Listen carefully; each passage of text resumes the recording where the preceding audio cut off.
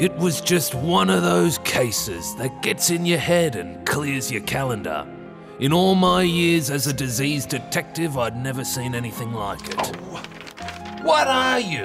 And how do I get rid of you? I needed to get to the bottom of it. Why don't you talk to an epidemiologist? An epidemiologist. What? An epidemiologist? You know, a disease detective? Don't worry, I've got this one.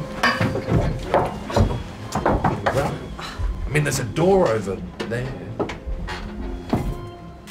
This is a different game now. Delta is really changing the rule book. As soon as you've got one escape variant of concern, you can't wait for nine days.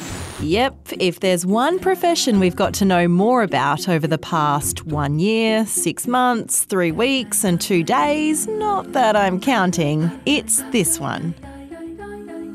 An epidemiologist is a person who studies incidence, distribution, and possible control of diseases. And I've come to meet a real one. Hi, Emma. Oh, hello. So you are a real disease detective. That's me. One thing to understand about epidemiologists is that we're not all the same. We come in different flavours. So I'm kind of like you. I'm the detective epidemiologist. So I spend my time going around looking for clues and working out the patterns of things and seeing what who committed the crime, so to speak. So what's the last year been like for you? Well, it's been really, really busy, as you might think, with everything that's going on with COVID and everything. For a long time, people didn't know what an epidemiologist was, and um, uh, we were kind of like a hidden profession. But suddenly, with everything that's happening, people are getting more and more curious. While this pandemic stuff might be new to us, it's not the first big disease outbreak the world's ever seen. In fact, we've been dealing with them ever since humans started living in big groups. Although it took us a while to figure out how they worked. Oh, it's the miasma, the bad plague air. Here, sniff this. Mm, no, not quite, but that's what people thought for a very long time that diseases were spread by evil spirits, angry gods, or even bad scents. Viruses weren't identified until the 19th century.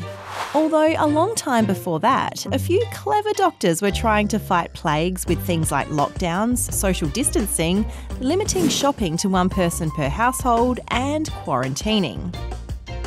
One of the biggest leaps forward in epidemiology was brought about by an English guy named John Snow. Winter is coming. He stopped a cholera outbreak Cholera is coming.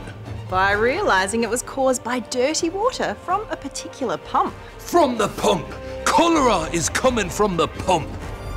So, what he did was he did some really rigorous studies and he managed to convince them to do something about it, which was essentially just turn off the pump.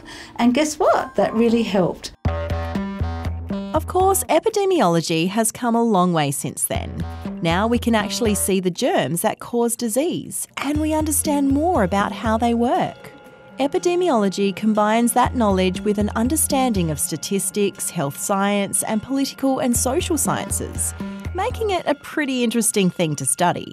In epidemiology, we're studying a lot of statistics, so that's like understanding graphs and information about how and why people get sick. It is a really exciting time to be a student at this time during the pandemic because you get really instant learning from immediate circumstances of like what intervention can do for the public.